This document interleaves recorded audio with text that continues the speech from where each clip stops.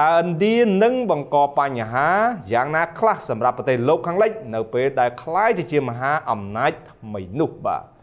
មែនទេទៅបាទលោកនាងប្រទេសឥណ្ឌាត្រូវបានគេមើលឃើញថាកំពុងคล้ายទៅជាមហាអំណាចថ្មីមួយរះត្រដែតឡើងបាទបាំងបាទពីលើប្រទេសចិនបាទជាបណ្ដាបណ្ដាហើយជាមួយនឹងបញ្ហាសង្គ្រាមនៅក្នុងប្រទេសអ៊ុយក្រែនជាដែលជាក្តីបារម្ភរបស់លោកខាងលិចនិងប្រទេសចិនដែលកំពុងប្រឈមមុខនឹងការឆ្លង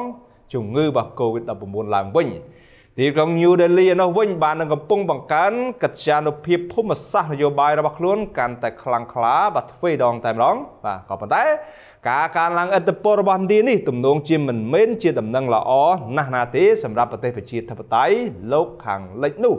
ផ្ទុយទៅវិញបាទវាអាចនឹងបង្កជាបញ្ហាឈឺក្បាលវិលមុខបាទមួយចំនួនដែលទំនងជាពិបាកដោះស្រាយថែមទៀតផងបាទ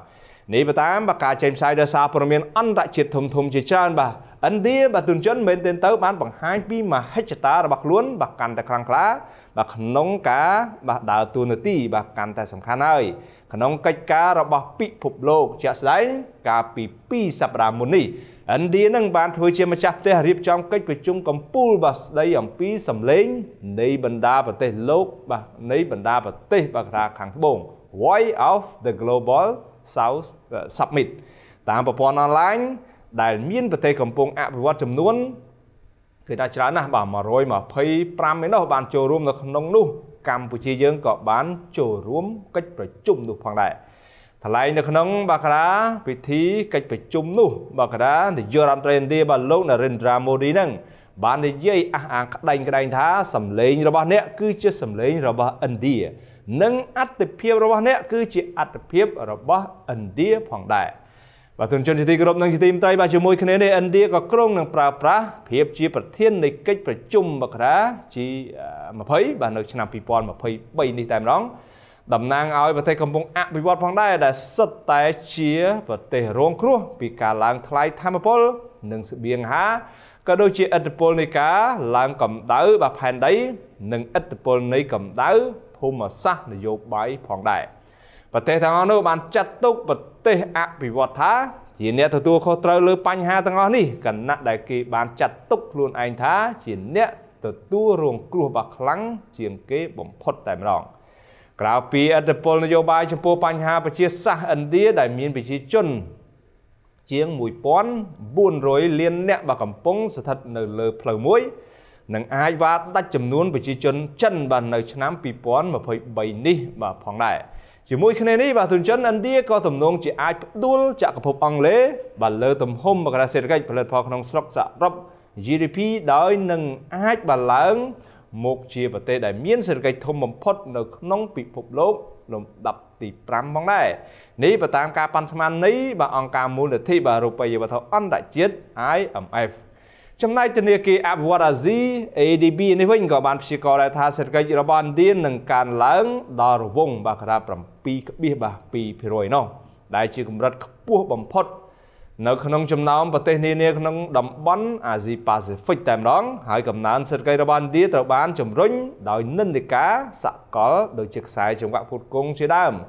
ដែលទីក្រុង New Delhi កំពុងคล้ายទៅជាគោលដៅថ្មីមួយបាទរបស់ក្រុមហ៊ុន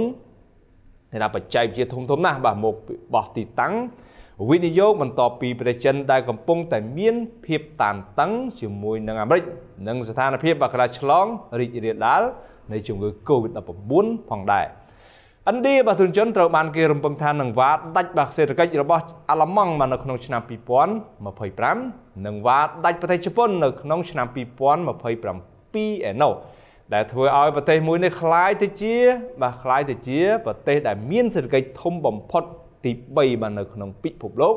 បន្ទាប់ពីអាមេរិកហើយនិងចិន នៅចំពេលដែលខ្លួនប្ររពបាខួបបុណ្យឯករាជ្យជាតិគម្រប់បាក្រា100ឆ្នាំយ៉ាងណាមិញបាទទុនជនជាមួយនឹងការរះត្រដែតឡើងរបស់ឥណ្ឌានេះត្រូវបានប្រទេសលោកខាងលិចហ្នឹងមានការព្រួយបារម្ភថាឥណ្ឌានឹងកាន់តែមានចរិតបាការាអង្គអត្តឯងអង្គអត្តឯងដោយ បាទបន្តរាប់អានជាមួយប្រទេសឈ្លានពានគេដូចជារុស្ស៊ីជាដើមហ្នឹងដើម្បីតែផលប្រយោជន៍ខ្លួនតែប៉ុណ្ណោះជាក់ស្ដែងគេអាចមើលឃើញដឹងពីពេលនេះបាទជាក់ស្ដែងតែម្ដងបាទក្នុងទំនាក់ទំនងរវាងទីក្រុង New Delhi ហើយនិងទីក្រុង Moscow បាទកាលពីខែសីហាបាទនិងខែកញ្ញាបាទខែឆ្នាំ2022កន្លងទៅនេះបាទរំលឹកបន្តិចឥណ្ឌានឹងបានបាទចូលរួមបាទសមយុទ្ធយោធាជាមួយនឹងរុស្ស៊ី បាទទោះបីជាមានការរិះគន់ពីលោកខាងលិចយ៉ាងណាក៏ដោយចុះមិនខ្វល់ទេអ្វីដែលគួរឲ្យកត់សម្គាល់ទៀតនោះឥណ្ឌានឹងឃើញថាបានបោះឆ្នោតអនុបវិតក្នុងការថ្កោលទោរុស្ស៊ីដែលបានដណ្ដើមកាន់កាប់និងធ្វើប្រជាមតិទឹកដីអ៊ុយក្រែនដល់ទៅ4តំបន់ថែមទៀតផង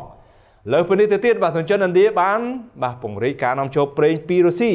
ដោយបានទិញបាទយកប្រេងជាង1លានបារ៉ែលបាទក្នុងមួយថ្ងៃបាទគិតចាប់តាំងពីខែកញ្ញា បាទក្នុងឆ្នាំ2022មកពលគឺរុស្ស៊ីបានคล้ายទៅជាអ្នកផ្គត់ផ្គង់ប្រេងដ៏ធំបំផុតរបស់ឥណ្ឌាហើយឈានទៅជំនួសតំណែងបាទកណ្ដាលប្រទេសអ៊ីរ៉ាក់និងអារ៉ាប៊ីសាអូឌីតបាទក្រុមអ្នកវិភាគបានលើកឡើងថាឥណ្ឌាបានប្រើយុទ្ធសាស្ត្ររឹតចំណងជាមួយនឹងប្រទេសលោកខាងលិចដើម្បីទប់ទល់នឹងឥទ្ធិពលរបស់មហាយៈចិន ក៏ប៉ុន្តែបន្ទាប់ពីមើលឃើញថាដៃគូលោកខាងលិចលែងសូវមានតម្លៃនោះឥណ្ឌាក៏ងាកទៅរកការចាប់ដៃជាមួយនឹងប្រទេសផ្ដាច់ការបាទដូចជារុស្ស៊ីវិញដើម្បីបន្ថយឥទ្ធិពលរបស់ចិនផងដែរបាទទុនជនជាទីគោរពនិងជាទីមេត្រីបាទគណៈប្រទេសលោកខាងលិចក៏មានការព្រួយបារម្ភចំពោះរូបភាព ប្រជាធិបតេយ្យរបស់ឥណ្ឌាបាទកាន់តែត្រូវបានផ្លាស់ប្ដូរផងដែរបាទពីមួយថ្ងៃទៅមួយថ្ងៃពីមួយឆ្នាំទៅមួយឆ្នាំហ្នឹងបើយោងតាមរបាយការណ៍ស្រាវជ្រាវបាទកាលពីឆ្នាំ2020ដែលធ្វើឡើងដោយវិទ្យាស្ថាន VDM របស់ស៊ុយអែតហ្នឹងបានរកឃើញថាឥណ្ឌាបានរំលោភបំពានយ៉ាងធ្ងន់ធ្ងរទៅលើលំហប្រព័ន្ធផ្សព្វផ្សាយសង្គមស៊ីវិលនិងគណៈបកប្រឆាំងក្រោមការដឹកនាំរបស់រដ្ឋាភិបាលបាទលោក Naren Bakra Dramudi បាទ